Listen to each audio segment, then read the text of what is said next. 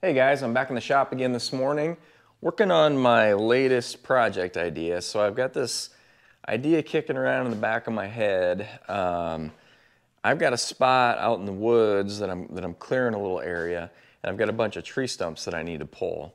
And some of them I can pull with the tractor, but that tractor's not very heavy and it's um, got issues basically getting traction, trying to pull bigger stumps. So my plan is to use my, I've got this winch that is mounted on a, um, a portable uh, uh, a hitch adapter basically.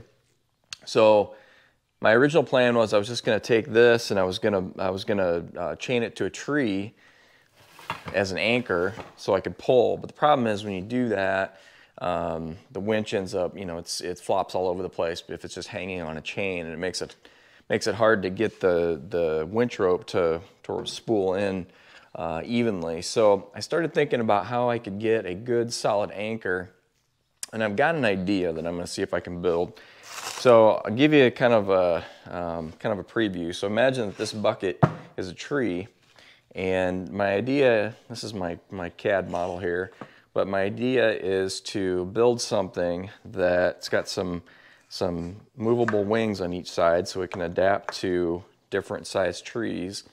Um, I've got this chunk of tubing that I had for another project and I already got it uh, drilled out. So this will, yeah, is just like you'd find on the back of your truck and this will slide, my receiver will, or my, uh, my portable winch mount will, move, will slide into that receiver. So anyway, this will get welded onto steel plates and with these wings, I should be able to get this thing uh, to attach really securely to a tree, uh, give myself a good pull point. So, you know, a tree, you know, I suppose you could put it on a telephone post, pretty much anything around um, this thing will hook up to. So I'm gonna see what I can come up with. I've got some, I've had, I had some steel laying around that I'm gonna use. I did pick up a little bit of hardware that I think is gonna be what I need to get this thing put together. So I'm gonna do some cutting, some welding, and see what I can build.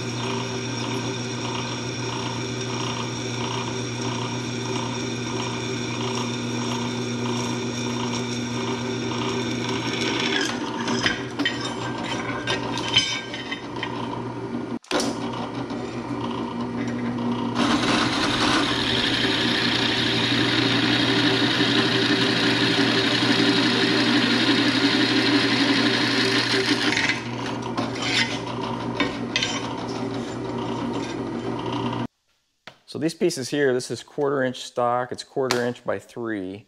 And um, so what I'm gonna do, I figured out, I've got this piece of two and a half inch receiver tube and I'm gonna cut it off. I want it to be as short as possible so everything stays as close to the tree as possible. So I've just figured out how far that receiver is gonna slide into there. I'm gonna leave myself an extra quarter of an inch or so. I'm gonna cut that off. And then this piece of receiver tube will get welded in between those plates and that's going to be the basic structure and then I'll build pivots that come off of either side of that.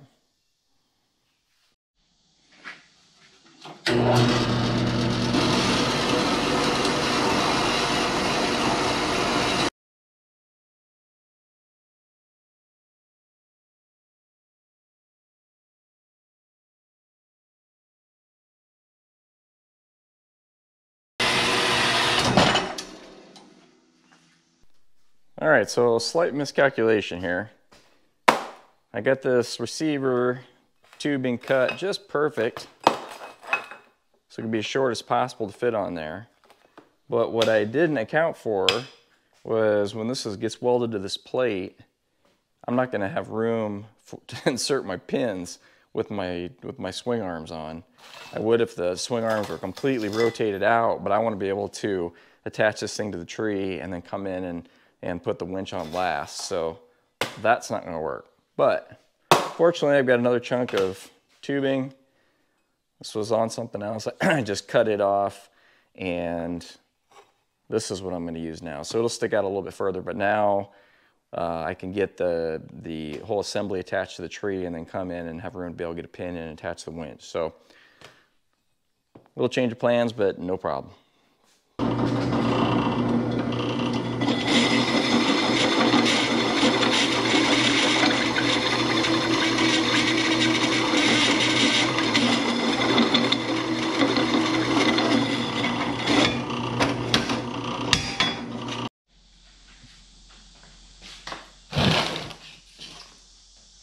All right, so I got this frame, for lack of a better term, assembly built. Now I need to figure out my uh, my pivoting arms.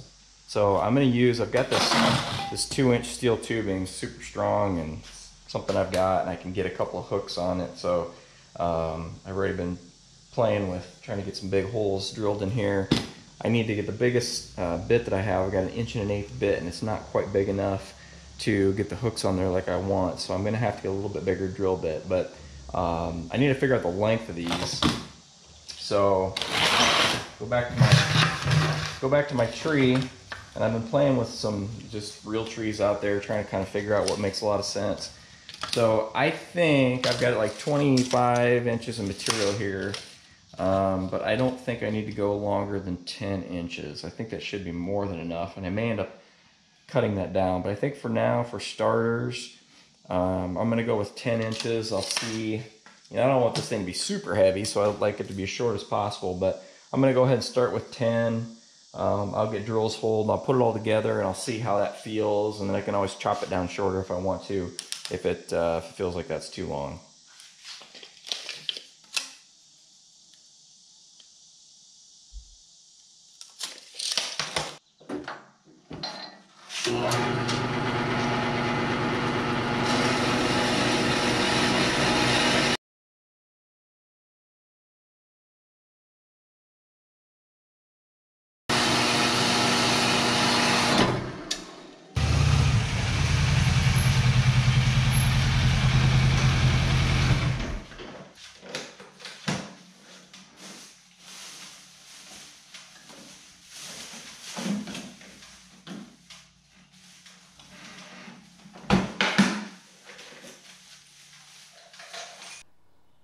All right, I took the grocery getter and ran to Harbor Freight to pick up some cheap step drill bits. That one goes up to an inch and three eighths, so that'll be big enough to get this hole drilled out a little bit bigger for me to take the hooks that I'm gonna use. And while I was there, I actually picked up a bandsaw blade.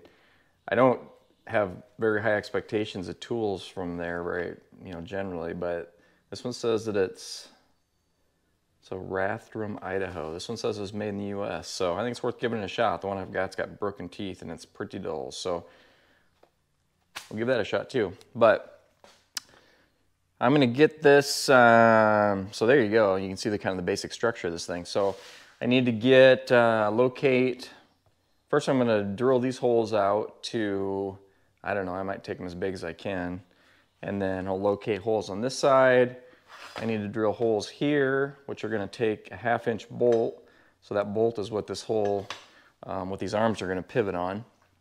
Once I, once I get that done, um, it'll be time to get, actually get this uh, receiver tube welded in.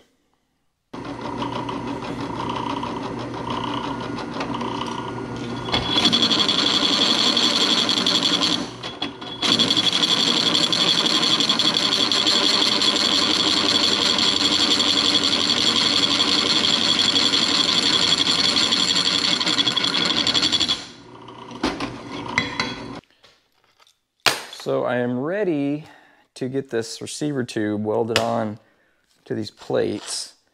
And I think what I'm gonna do, I've got some reference lines here, but I think in order to keep everything as straight as possible, I'm just gonna go ahead and bolt this thing together. And then I can sandwich it and give me a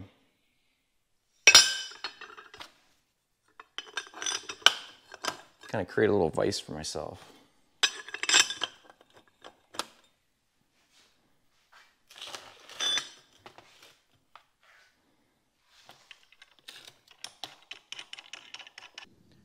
I decided to go ahead and just assemble the whole thing so I can make sure that I had everything nice and square because these bolts are, I need to be able to get these bolts uh, through these pieces of pipe it's together. So I got everything measured. I think I've got it centered well. I'm gonna go ahead and throw some tacks on there, just get it locked into position, and then I'll take it back apart and get these wings out of the way, and then I can go ahead and burn everything in.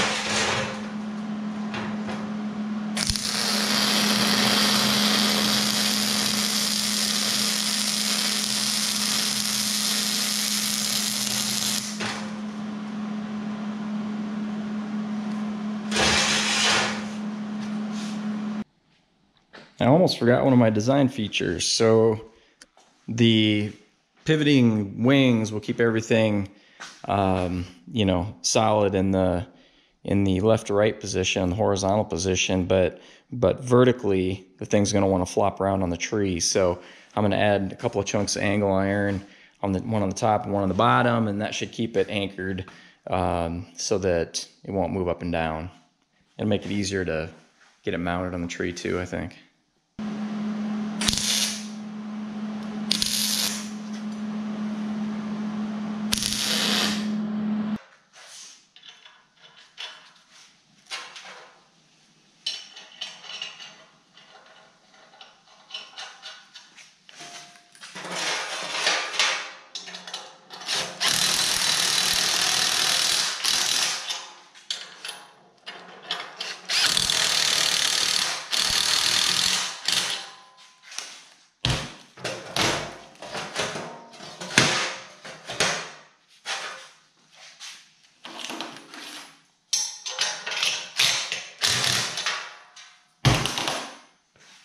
All right, so I need to give it a coat of primer and paint, but I thought I better test it first before I go to all that effort. I might cut these bolts off too. Those need, don't need to be that long. So there it is. Well, that's not bad. It's not as heavy as I thought it would be. Maybe like, I don't know, probably between 10 and 15 pounds. I think that's gonna work. So I don't think I explained why I needed these great big holes here.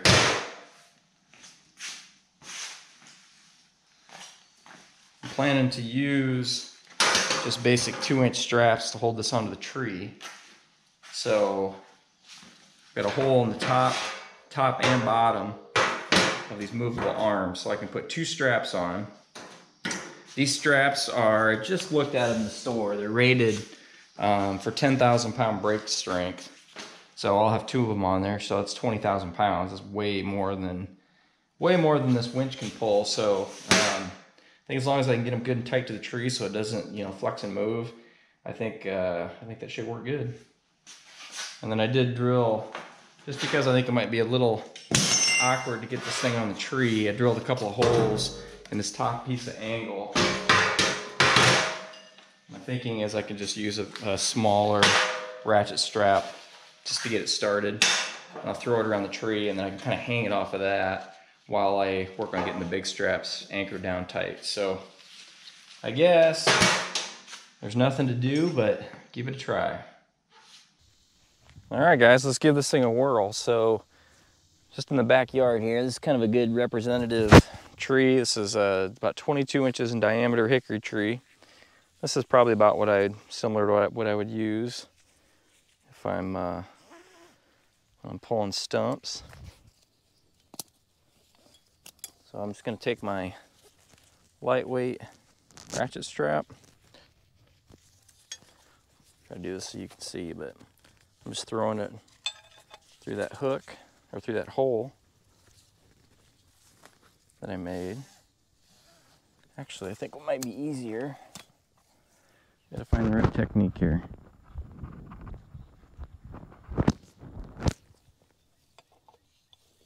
Put the ratchet side in first. And I can just toss myself the, the other end.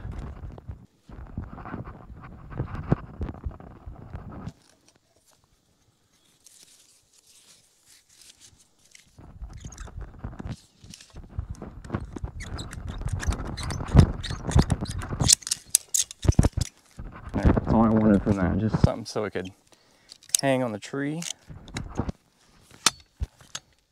Now I'll bring in the big straps.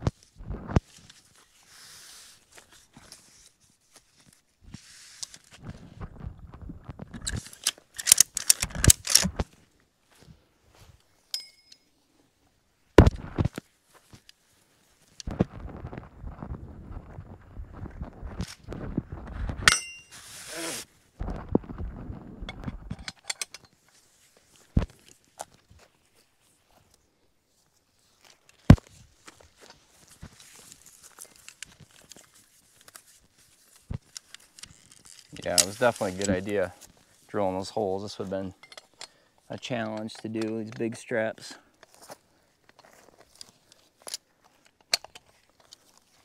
Without something hanging it on the tree.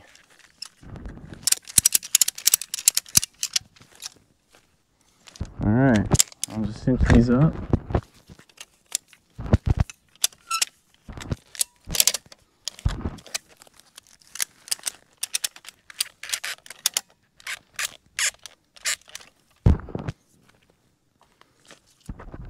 Guess I could take this little guy off or just leave it on there. It's not hurting anything.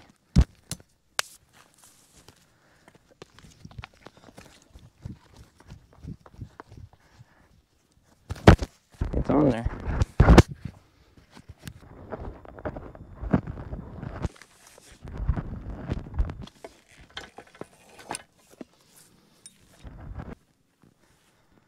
Well, there it is. It's anchored on there good. Straps are nice and tight.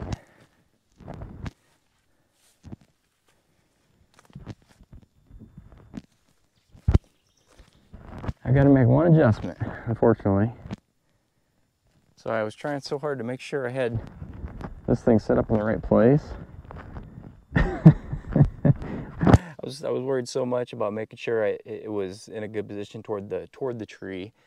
I never did take a measurement of this particular piece of two and a half to see if it would line up there. Look at that. My holes don't line up. I'm three eighths of an inch off, so that sucks. I'm gonna have to. Um, ideally, I'll cut this off. That might be a little bit difficult. Maybe I'll do that with an angle grinder. I really don't. I could hog these holes out too, but um, if I knock a half inch off the end of this tube here, that'll resolve that. I'll just do that with an angle grinder, and that'll take care of it. But well, I am really happy with that. That's a solid design. It's strong, and I think it's going to serve its purpose really well. So down there, you can see, maybe you can see on camera down there where there's daylight coming through in the timber. That's where the stumps are that I'm gonna be pulling out. But it is hot today. I'm not gonna mess with it. Um, I'll go ahead and I'll get this, take a half inch off of there so that thing lines up right. Um, I'll get a coat of paint on there so it doesn't rust. I'll let that dry and then uh, sometime here in the next couple of days, I'll actually start working on pulling some stumps. So if you're interested in seeing that video, make sure you stay tuned, make sure you're subscribed. Um, I will leave a link up above at the end of this video if you're interested in seeing that. I appreciate you guys watching and we'll see you in the next video.